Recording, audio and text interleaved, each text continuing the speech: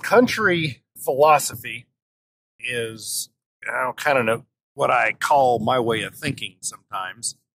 Um, and today I'm going to talk about who it is that I associate with and what my standards are for associating with with people. And I, I, I'm going to say right off the bat, it's different for different people. It's not a consistent standard across the board. So here's an example. When I want to think about the, the people who I want to associate with, who are, I'll call them thinkers. These are people who have intellectual honesty, above average IQ, uh, have done a bit of reading, uh, just have really taken an interest in social science or philosophy or history or uh, that kind of thing, and, and not just you know they watch CNN or Fox News in the background or intently and think, oh, well, it's just weird that all those talking heads happen to say the same things that I believe in day after day, after month, after year. Uh, not those folks, but people who really sit down and, and study and contemplate and listen to other people's ideas. Well, th- those people, the, the thinkers, I have a very high standard for them. I have maybe half a dozen at most people in my life who are really, truly high level thinkers. My standards for them are very strict. Not just anybody gets to be in, in that inner circle. And so I have very strict standards, as I said. But in other areas, my standards are not as strict. One of my friends, who is a, a thinker, uh, in my top three thinkers on my list, he argues that it probably wouldn't make much sense for people to associate with people who don't live by the, the principles that that you know a person thinks is most important. So if I think the non-aggression principle is important, then I probably ought not to associate with people who do not live by the non-aggression principle, etc. And I, I see that point, and I don't closely associate, perhaps, with those people, where I don't choose them as my thinking and my debate partners. Um, however, I do associate with them. The clerk at the local convenience store is not a thinker, but she's a really nice person, and we joke around, and I think I brighten her day each time I go in. And I'm going to continue doing that. And I don't think my friend is arguing that I, I shouldn't go out into the world because not everybody agrees. But, but I'm going to narrow this down some. Let's look at somebody who's a, I'll call them a neighbor, someone who lives somewhat close geographically to me. And they don't think about thinking. That's just not an area of interest. Uh, philosophy, morality, uh, politics, it's a kind of a, a unique little niche uh, thing to think about, especially the philosophy and the morality, uh, which is a part of philosophy. But that, that part, especially, is a very niche thing. And I get that out of every hundred neighbors, probably at best one or two might have any interest in that. Uh, and then if I spread out my neighbor circle to be even larger, uh, out of a thousand nearest neighbors, maybe out of the five or 10 or 15 who are interested in philosophy, maybe one or two actually put effort into reading about it, uh, listening to lectures, podcasts, uh, whatever, uh, to, to really investigating it further and, and spend a measurable amount of each day contemplating it. So, this is a very small group of people. And among those people, there are a lot of really good folks a lot of good, in my situation, country folks. Country folk who will let you borrow their shovel or their lawnmower or will come over and help you put your roof up or uh, just are friendly, good, helpful, uh, good, solid human beings. And, and one of these, uh, an example of one of these type of people would be Lavoy Finicum. And I read his book, I think it's Only Through Blood and Suffering a novel, but one of the few novels that I just absolutely loved. uh, because there's a good bit of uh, philosophy uh, included in this novel, along with a, a, James Wesley Rawles type prepper thing, along with a Louis L'Amour type Western thing. So you, you, I wouldn't think that that would be my kind of book, but I did really like it.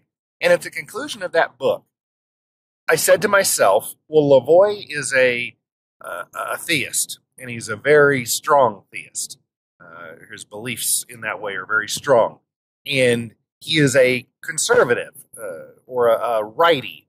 Uh, and I don't know what the correct word for that is. All these generalizations are, are not accurate. But he, he thinks that you know, you ought to spank your children and you ought to vote for the person who will be your master and it's okay if there are taxes, they just need to be small and very much pro government kind of guy.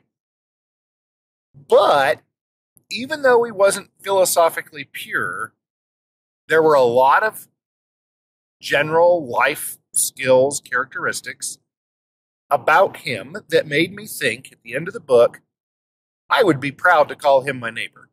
Like I, I think he would come over for barbecues. I'd go over to his place. We would help each other out with chores. We would be friends. Now, we wouldn't be able to discuss beyond a certain level uh, deep intellectual concepts because it's not his area of interest. Just as when he starts talking to me about, uh, you know, 80, 16 welding rods and how they're different than the, the 60, 70 ones, uh, I don't know what this stuff means. I'm that he's into an area of specialty that I just I, I ignorant about. I don't know, uh, and maybe I'm interested in learning more about welding rods, but at the moment I, I just don't know. And maybe he would be interested in philosophy beyond kind of reaching that point that that a lot of conservatives kind of get a little inkling that they might like liberty as well as um, rightism, and so they do a little bit of research into it, and and up to a point, they they believe in liberty, and then they just stop, and they're they they can't bring their brain to step out of the box and go any further. And I believe that LaVoy fell into that that category, but he could have been a great neighbor of mine. And we could have talked about general welding things, general philosophy things, but there would become a certain uh, place in the conversation that, that, that we couldn't go beyond in those topics and many others. And so my standards for a casual friend neighbor who will be there for me when I roll my car and it's stuck and I need him to bring his his you know backhoe over and tip it out of the ditch for me and and give me a ride home in his jacket because I'm cold and shivering uh, that is a good friend. I mean, not a philosophy friend, but he's a good friend. And I'd be proud to call LaVoy my friend, as I would many of my actual neighbors in the real world. So I am willing to associate with people who I bring value to, they bring value to me. Uh, we enrich each other's lives, and they are imperfect, as am I. There are a lot of areas, even in you know, I, I think I'm come, some kind of special lay philosopher here that I've got got philosophy, I've got a handle on it. Well, no, I, I have so much to learn. I just read Hume for the first time and was blown away, and I'm going to have to read uh, just that one little book. I'm going to have to, to read, and in my case, read it on Audible, listening to it, probably another two or three or four or five times until I, I grasp even a portion of it. So I, am not saying that I'm the the smartest or the best philosopher out there. Uh, I've got lots of room to grow, and, and I recognize the same in my neighbors. We're all at different places in our journey, and uh, that's okay. And we can be friends, and we can be neighbors, and, and get along with each other. So those are some thoughts about uh, my standards for neighbors. Oh boy, we're going to talk about violence and threatening violence if a neighbor is very obviously going in opposition of the non-aggression principle is that an absolute uh, showstopper all right let's get into this next topic i'm going to use an example that it, that hasn't really occurred in my life but i'm going to i'm going to pretend that it has and i live in the the rural western us cattle country And so I'm going to give a good cattle country cowboy name to a, an imaginary neighbor. We're going to call him Slim. And we're going to make up a little bit about Slim and, and then talk about the philosophy behind it, my, my viewpoints, my perspectives. So Slim is a happily married dude. He has his uh, his wife and his children, and he goes out. He works hard for about ten months a year. He's probably putting in eighty to hundred hours a week. Uh, he's got to fix his baler, and he's got to got to make sure that his skid steer is running well over the winter. So he builds uh, rebuilds transmission, and and he's got to go out and do fencing and and calving and branding, and he, he's just got a busy life as a cowboy and he is a hard worker and wouldn't cheat anybody. If he has a piece of equipment that he's going to sell, he he makes sure to tell people, "Hey, I've used this hard, and it's uh, you know I welded it back together so many times, and uh, you know it ain't it ain't brand new." Um, and he'll be completely honest about the, the state of it, something he's going to sell or anything else in life. He's honest. Now he's not a deep thinker, and Slim thinks that he can he can vote liberty into the world. He thinks he can he can find the the sludge at the bottom of the barrel, the people who wind up being politicians. He thinks he can pick the lesser of two evils, and he thinks it's important that he goes down and votes, and he does so, votes in the government elections. And he, he's imperfect, but he's overall just a, a good neighbor, a good human being, making his way through life the best he can. And we're going to imagine that Slim has set a rule that everybody knows, and it is that he's a, a, deeply religious, he's a theist, and he's deeply religious, and he thinks that cursing is wrong, and he thinks it's evil and horrible, and he doesn't say anything if he's just out working with the guys in the field and somebody drops a an F bomb. He's okay. You know, he doesn't like it, but he's not going to say anything. But when you're around his daughter, who's 14 years old, you don't use the F word. That's just his rule. You do it. He says, you know, he says, I hear anybody doing that. And he says, I'm clocking them. I'm going to put them on their butt. And so he's threatening violence against someone who has not initiated violence. They just made mouth sounds that are, uh, uh, he uh, is opposed to them.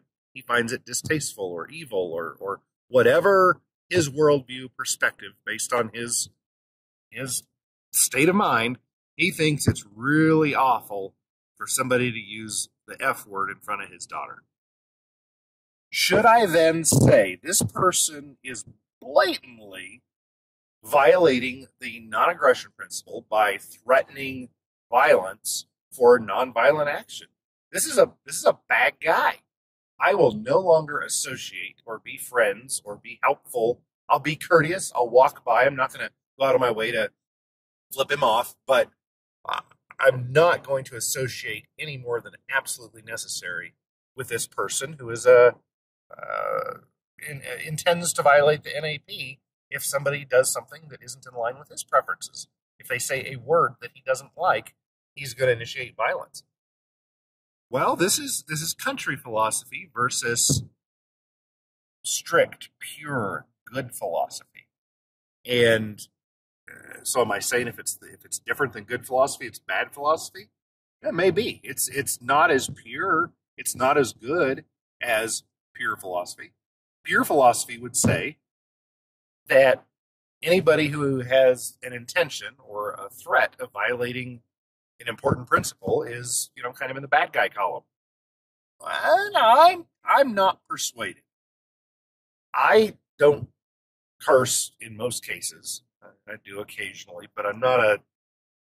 I have a, a, pretty decent command on the English language, and I'm I'm able to find words to, to better communicate um, than than the F word. But occasionally, yeah, there there are times that it, I I do drop it, but I can certainly control that, and it's easy enough for me not to do that uh, in front of his daughter. It's easy for me to live my life not dropping the F bomb in front of his 14 year old daughter. And I might have a conversation with him sometime over a beer and say, Slim, let me ask you something. You're always talking about how you clock somebody if they say a word you don't like in front of your daughter. I'd never do that. I respect her too much and I respect you, but I'm just wondering, you you would you would visit violence on somebody who said a word that you don't like? Uh, would you really do that?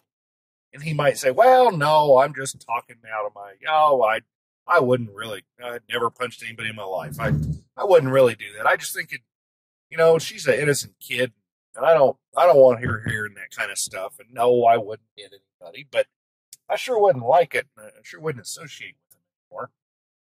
Well, okay, that kind of cleared things up with Slim. But even if he did say, no, you know, I know I'd go to jail, and I know it's it's probably morally wrong, but um, a dad's got to do what dad's got to do, and I want my daughter reared in a particular way, and and using that kind of language around her just isn't going to cut it.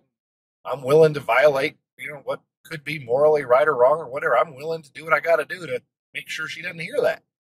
Now, who knows which way Slim will go, but either of those responses, one I would like better than the other, but either response, I am not going to shun Slim from my life. When he calls and says, Hey, I, I called the timber place and they got a good deal on fence posts, and uh, I'm going to go down and pick up a couple pallets of them. Do you want me to grab some for you too? Well, I'm not going to say, Slim, don't ever call this number again. Uh, you know, I, I don't don't want to deal with you anymore. And then I call the timber place and order my own pallet of uh, posts. No, I, I, I'm not going to shun him from my life. I'm still going to be a good neighbor to him.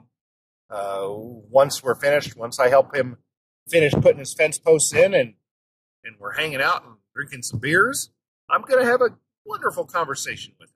And we're going to have a good old time. And we might or might not get into philosophy or the non aggression principle, but I'm still okay with having Slim as a neighbor and associating with him. Um, and I think a big part of it is, is is he has made his standards clear. He has said, "This is what I believe in. This is where my line in the sand is."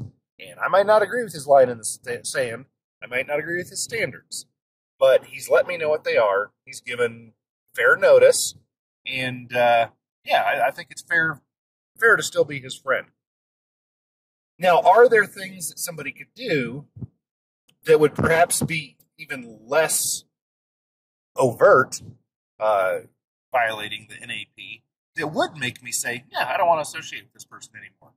Absolutely.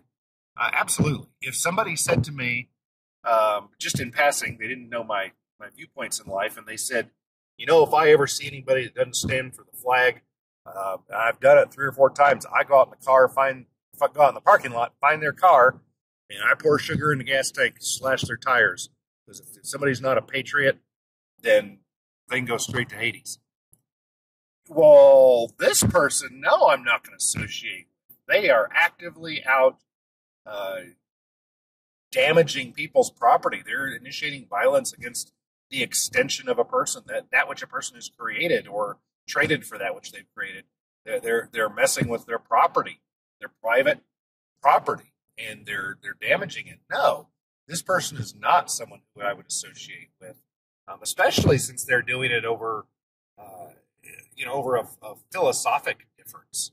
It's not even over like a good reason. It's just over uh, this disagreement that shouldn't even be one. Um, so yeah, that person I would readily disassociate with in a heartbeat. So I guess it kind of depends. It's a it's a subjective thing. There are going to be things that get in my craw that don't in others, and something might bug the heck out of you, and it doesn't bug me. But in the long run, I, I think it's wonderful that we have this option of association, free association. Uh, you get to be around and associate with those who you like and if there's something that's distasteful to you about someone, whether or not I agree with it, whether or not you can explain it rationally, uh, you don't have to associate with them. That is your choice. And that is a good way to kind of, oh, I wouldn't say control society, but control our environment. Uh, because you think about Slim there, or and you think about it, if Slim and I were both pro state people and, and we wanted to hire the government to make sure our preferences came about. Slim might go to the government and say, hey, there needs to be a law against using foul language. We'll call it breach of peace or something. There should be a law against using foul language in the presence of females under 15 years old. And he might try to get a law passed.